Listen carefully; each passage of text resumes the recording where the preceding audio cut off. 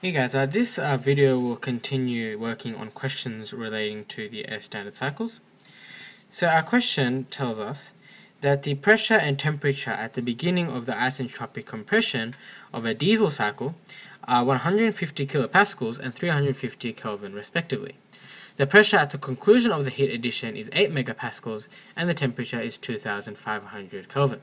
So determine A, the compression ratio RV, B, the cutoff ratio RC, and finally the thermal efficiency.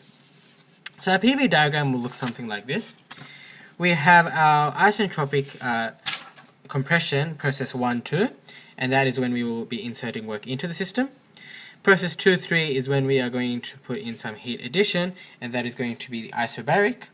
Process 3, 4 is going to be the main work output, and that will be an isentropic compression uh, expansion. Then finally we have an isochoric heat uh, expulsion from the system. So now even though this question is asking us to find the compression ratio and the cutoff ratio, it is still good to start off by tabulating all the uh, by tabulating all the three fundamental